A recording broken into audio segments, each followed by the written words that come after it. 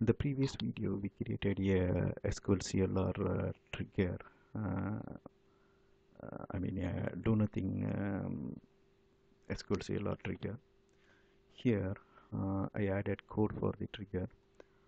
Um, first, we decorated the CLR trigger with a attribute. Here, the attribute name is SQL trigger. Um, there are three properties. First I specified a name for the trigger using name property of SQL, SQL trigger. Next uh, we specified the table name uh, emp using the target property.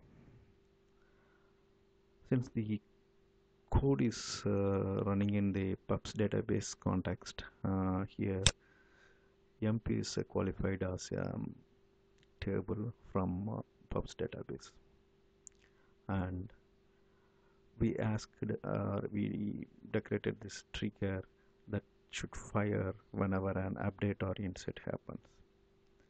So this is specified using the event property of the SQL trigger attribute class. So in general the trigger myclr trigger will execute whenever an update or an insert takes place in the emp table of the pubs database. Right. Let's say when an insert happens or an update happens we execute the statement first. First we are forming the SQL connection by making use of the context connection equal to store string. Once connection is there then I'm forming a SQL string where I specified the table name as inserted. Here inserted is a virtual table. Um, it states the new record which a user trying to uh, insert in the database or modify in the database. Right. So we are forming this SQL string as a aggregated uh, with the aggregated statement count star and with a where class which states bonus less than 0 that means we are making sure how many record is there in the user attempt where bonus is negative.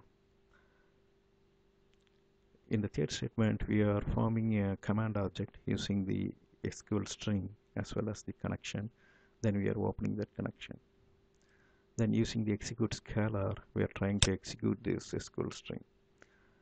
Since it's the execute scalar and it returns an integer here we are we are checking that integer is greater than 0 or not. If this num column is greater than 0 okay I should have named this a num number of records okay whatever so if this variable uh, holds a value more than 0 that means um, uh, there is at least one negative bonus entry is attempted by the user. So in that case I am sending a message stating negative bonus not allowed by making use of the SQL context pipe.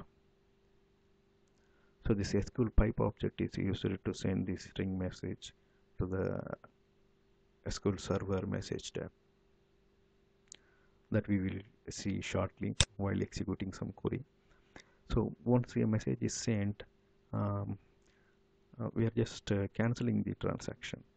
Here, cancelling the transaction means we are we are cancelling the insert or the update, which uh, attempts to enter a negative bonus to the emp table. Right. If a user enters a proper value for the bonus. That means a positive value for the bonus. Then we will never get inside this uh, if conditional block. That means uh, there is no message sent and the transaction also not cancelled. That means the data get modified or the DML statement executed well.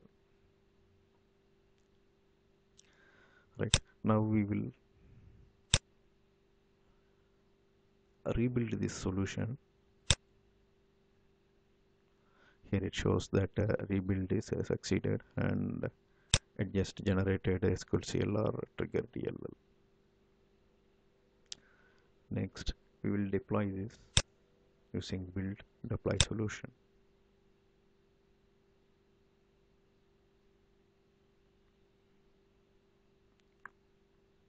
All right. So we deployed this uh, into the SQL server.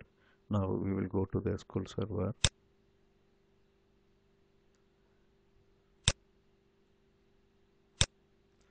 here if you see I have four records here.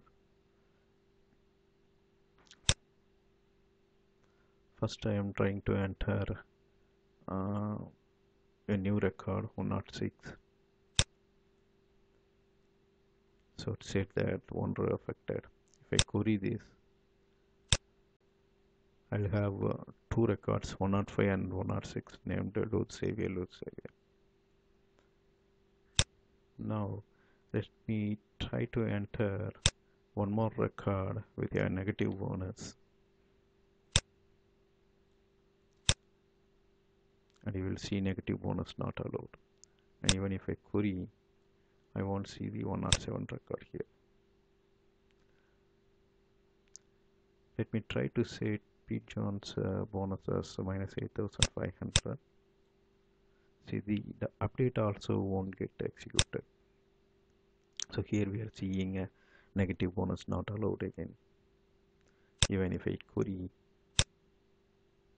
I still see P. Jones was uh, 8500 with a positive value. That means the statement is not executed and rolled back. So in the message tab, we will see the negative bonus not allowed, which is coming from our uh, pipe object. That's all here. I'm closing the video now. Thanks for watching.